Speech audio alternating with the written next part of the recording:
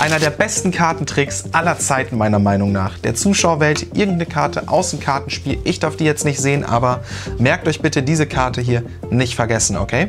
Die kommt zurück ins Kartenspiel und wir machen es uns noch ein bisschen schwieriger, denn so habe ich keinen Überblick mehr darüber, war die Karte jetzt eher weiter oben oder eher mittiger oder ist sie eher unten gelandet, sondern ich bin hier komplett lost. Aber ich benutze zwei Helferkarten, die mir dabei helfen, eure Karte wiederzufinden, indem sie mir das Symbol und die Position von eurer Karte verraten. Und da weiß ich alles, was ich brauche.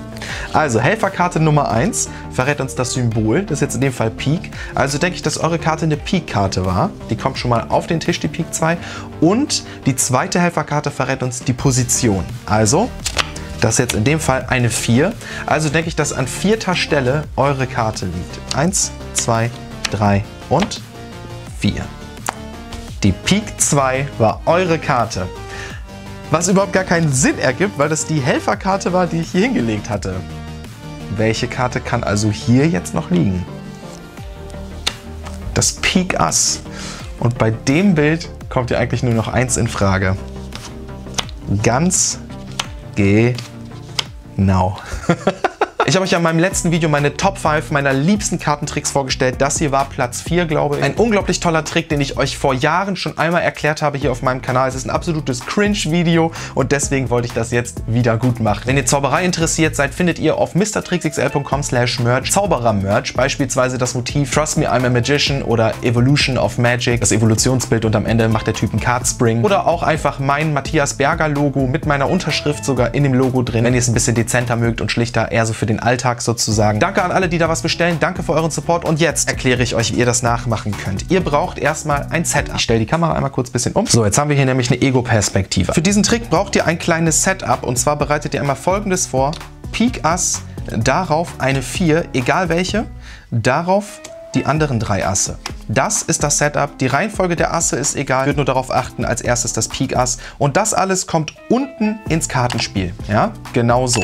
Das drehen wir um. Wir können jetzt vorher einmal mischen. Dann müssen wir darauf achten, dass wir die Reihenfolge der unteren Karten nicht verändern. Ich habe ja zahlreiche Tutorials auf meinem Kanal zu dem Thema, wie ihr beispielsweise mit diesem Riffle Shuffle hier dafür sorgen könnt, dass die Reihenfolge gleich bleibt. Oder auch mit diesem Overhand Shuffle hier. Das habe ich euch ja alles schon erklärt. Ich verlinke euch die Videos unten in der Videobeschreibung. Kleiner Pro-Tipp an dieser Stelle, das macht den Trick noch besser. Sucht alle anderen Vieren raus. Dong, Dong und Dong. Und diese drei Vieren packt ihr nach ganz oben aufs Kartenspiel. Denn dadurch vermeidet ihr, dass der Zuschauer eine 4 zieht. Ihr lasst den Zuschauer eine Karte ziehen aus der Mitte heraus. Der Zuschauer wählt eine Karte, beispielsweise jetzt genau diese hier, Kreuz 7. Während der Zuschauer sich seine Karte anguckt, mache ich einen Swing Cut. Ich halte dazu das Deck genauso in meiner rechten Hand und mache einen Swing Cut in meine linke Hand, genauso. Und an diese Stelle darf der Zuschauer gleich seine Karte legen. Hier befinden sich jetzt nämlich die Asse. Das ist ja die untere Hälfte nach dem Swing Cut. Ne? Hier sind die Asse. Zack, die bleiben in meiner rechten Hand. Der Zuschauer legt seine Karte gleich genau hier hin. Und ich muss jetzt dafür sorgen, dass die Hälften gleich so landen. Die Zuschauerkarte landet gleich oben und unten bleiben nach wie vor die Asse. Wie mache ich das? Ich verrate es euch. Der Zuschauer schaut sich gerade seine Karte an. Ich mache einen Swing Cut. Nachdem er sich seine Karte gemerkt hat, halte ich ihm so die Karten hin, sodass er weiß, dass dort seine Karte hingehört. Und jetzt tue ich folgendes. Diese Hälfte kommt jetzt nicht einfach oben drauf, sondern ich bringe meinen kleinen Finger dazwischen. Der kleine Finger heißt auf Englisch Pinky, deswegen nennt man das hier einen Pinky Break. Ja, ich halte hier einen Spalt mit meinem kleinen Finger. An der Stelle noch ein absoluter Geheimtipp. Wenn ihr eure Zauberei auf das nächste Level bringen wollt, dann lasst den YouTube-Algorithmus wissen, dass ihr Interesse daran habt. Das Video liken? Absolut korrekt, denn durch ein Like weiß YouTube, dass euch so ein Content gefällt und schlägt euch mehr davon vor. Und wenn ihr das noch besser verkaufen wollt, macht doch gerne das hier. Ich nehme diese Hälfte, wo die Asse unten sind und ich dribbel sie hier drauf, aber achte darauf, dass ich sie nicht ganz sauber aufdribbel, sondern ich beginne etwas bei mir, etwas versetzt. Seht ihr das? Ja, also noch einmal, hier sind die Asse und ich dribbel etwas mit Beginn zu mir. Das ist jetzt natürlich übertrieben, damit ihr es in der Kamera gut seht. Also es reicht wirklich, wenn das ein paar Millimeter sind. Ja? Dadurch müsst ihr nämlich erstmal noch nicht den kleinen Finger dazwischen halten, sondern könnt das Deck sehr frei handeln. Wenn ich jetzt also mit meinem Daumen der rechten Hand von unten hier gegenhebe, habe ich hier genau die vier Asse ja, beziehungsweise die vier Asse und die vier dazwischen. Also wir tun so, als würden wir die Karte im Kartenspiel verlieren, aber dabei haben wir alles im Griff. Ich greife hier mit meinem Daumen und tue jetzt folgendes. Ich hebe alles ab diesem Spalt auf den Tisch Genau so. Hier befindet sich jetzt oben die Zuschauerkarte, die Kreuz 7. Was ich jetzt also mache, ist, ich mache hier einen False Cut. Ich mache wieder einen Swing Cut in meine linke Hand, knalle jetzt dieses Packet hier gegen, leg das drauf und leg das drauf. Das sieht jetzt nämlich wirklich so aus, als würden wir die Reihenfolge durcheinander bringen. Dabei bringe ich die hier gerade gar nicht durcheinander. Seht ihr das? Die obere Hälfte landet trotzdem oben. Auch über diese Technik habe ich schon gesprochen, das findet ihr auch in der Videobeschreibung, das Video. Aber jetzt befindet sich oben die Kreuz 7 und unten befinden sich die Asse.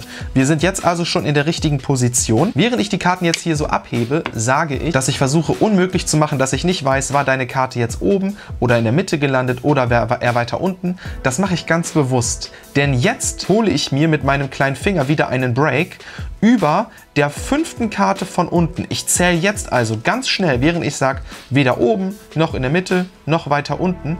In der Zeit zähle ich jetzt hier fünf Karten ab, 1, 2, 3, 4, 5 und bringe dann beim Schließen des Decks meinen kleinen Finger über die fünfte Karte. Also weiter oben oder weiter mittig oder weiter unten. Ich bin lost, ich habe keine Ahnung. Und im Zusammenschieben kommt jetzt mein kleiner Finger über die fünfte Karte von unten und ich habe hier so einen Pinky Break, den ich auch problemlos in einen Thumb Break überführen kann. Das Coole ist, ich benutze hier gerade die Somnium Prestige Karten, die gibt es noch bei uns im Shop unter somniumcards.de. Diese Karten sind markiert. Ihr seht ganz genau, wenn ihr genau hinschaut, dass ihr anhand der Rückseite ablesen könnt, welche Karte ist welche. Das weiß euer Zuschauer nicht, aber das wisst ihr. Das Tolle ist, wenn ihr euch nicht ganz sicher seid mit den fünf Karten abzählen, könnt ihr die Markierung lesen und ihr wisst jetzt, dass hier über einer 4 wieder ein Ass liegt.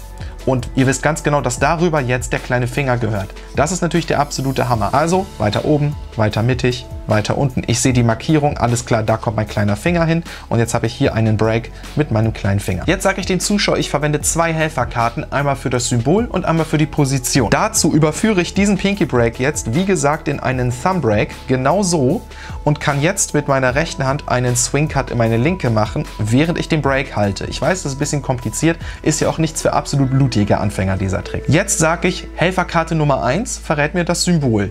Ich drehe jetzt mit diesem Packet hier hier die oberste Karte meiner linken Hand um. Das hier ist jetzt nämlich schon die Zuschauerkarte, die Kreuz 7. Und das tue ich nicht einfach so, sondern beim Umdrehen gehe ich hier etwas rüber. Seht ihr das? Dass ich die Karte kurz verdecke mit meiner rechten Hand. Ihr seht jetzt schon, worauf das gleich hinausläuft. Ich drehe die Karte um und sage, das ist eine Kreuzkarte. Und der Punkt ist kritisch. Der Zuschauer sieht jetzt nämlich seine eigene Karte. An der Stelle Zuschauermanagement vom Feinsten. Wir müssen kontrollieren, dass der Zuschauer nicht sagt an dieser Stelle, dass er nicht sagt, ey, das ist meine Karte, sondern wir sagen, okay, diese Karte verrät uns das Symbol. Und sobald wir die umdrehen, sagen wir sofort weiter, das ist jetzt hier eine Kreuzkarte, also glaube ich, deine ist eine Kreuzkarte. Ohne was zu sagen, einfach nur, stimmt das? Ist deine Karte eine Kreuzkarte? Dadurch fallen wir dem Zuschauer ins Wort. Er kann gar nicht irgendwie dazu kommen, zu verraten, dass es seine Karte wäre. Dann wäre der Trick nämlich vorbei an der Stelle. Der Zuschauer soll glauben, wir wissen das nicht, dass das seine Karte ist. Auch wenn wir es natürlich wissen. Er wird nicken mit einem verschmitzten Grinsen, weil er weiß, das ist schon die Karte, boah, der verkackt gleich. Jetzt tun wir technisch hier folgendes. Ich drehe die Karte um und im Zurückdrehen droppe ich diese fünf Karten vom Break oben drauf. Ich lege also gar nicht seine Kreuz 7 auf den Tisch, sondern ich lege hier schon das Pik Ass auf den Tisch. Perfekt. Das hier, also die Stelle, wo wir die Karte umgedreht hatten, diese Hälfte kommt oben drauf. Jetzt befindet sich nämlich an oberster Stelle die Pik 4 und darunter die anderen drei Asse. Ja, und das ist die perfekte Ausgangsposition. Jetzt sage ich, okay, die nächste Helferkarte verrät uns die Position.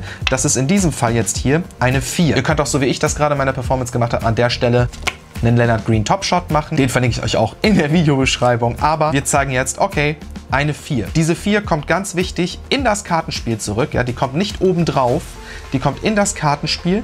Und ich zähle jetzt 1, 2, 3, vier Karten ab. Wir können die jetzt schon umdrehen oder wir sagen zum Zuschauer, sag mal zum ersten Mal laut, was war deine Karte? Der Zuschauer wird sagen, Kreuz 7. Dann sagen wir, weil er ja weiß, seine Karte liegt hier. Das glaubt er zumindest. Er sagt Kreuz 7 und wir drehen die Karte um. Pam. Kreuz 7. Und jetzt absoluter Schock. Der Zuschauer ist jetzt völlig verwirrt. Wirklich, ihr habt so tolle Reaktion bei diesem Trick. Der Zuschauer ist völlig verwirrt, aber du hast die dahin gelegt. Und dann sage ich, echt? War, war das? Ach, das war die Helferkarte, ne? Welche liegt dann hier? Wir revealen ein erstes Ass. Deswegen das Pik Ass, weil das sofort ins Auge schießt. Peng, Ass. Und bei diesem Bild, hier liegen drei Karten verdeckt und da ist schon ein Ass, dann weiß der Zuschauer jetzt schon, was gleich kommt. Und das ist ein wunderschöner Moment. Das ist mein absoluter Lieblingsmoment dieses Tricks, denn jetzt hat der Zuschauer in seinem Kopf schon die Magie zu Ende gedacht, oh mein Gott, wenn das jetzt die anderen drei Asse sind. Dann drehen wir nach und nach die anderen Asse um und revealen, dass hier alle vier Asse plötzlich auf dem Tisch liegen. Und das schockiert den Zuschauer, dieses Kicker-Ending, das schockt viel mehr, als dass wir die Karte gefunden haben und die lag da, aber dann da. Das hier ist der krönende Abschluss wirklich, das ist das i-Tüpfelchen das Sahnehäubchen obendrauf. Hier bekommt ihr tolle Reaktionen. Und wenn ihr noch weitere richtig krasse Kartentricks sehen wollt, meine Top 5, dann schaut dieses Video hier, das jetzt eingeblendet kommt. Da seht ihr nämlich Tricks, bei denen die Zuschauer richtig krass ausrasten. Ihr seht es auf dem Thumbnail, das sind reale Reaktionen. Genauso reagieren eure Zuschauer. Schaut euch das Video gerne an. Peace out.